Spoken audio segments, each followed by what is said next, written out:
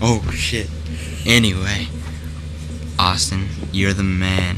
He, yeah, that's right. Anyway, I want you guys to look at this. Let me see. Let me show you guys something. look, look at that.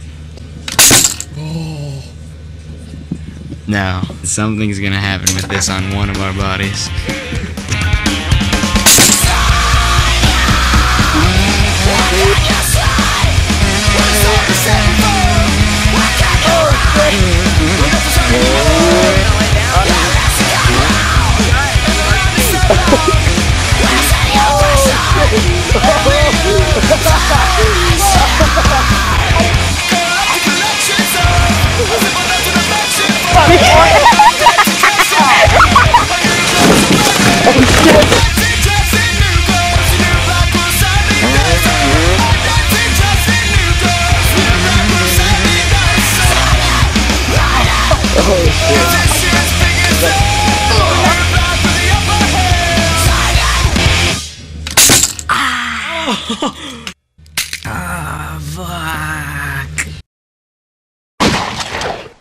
I just drunk some pee.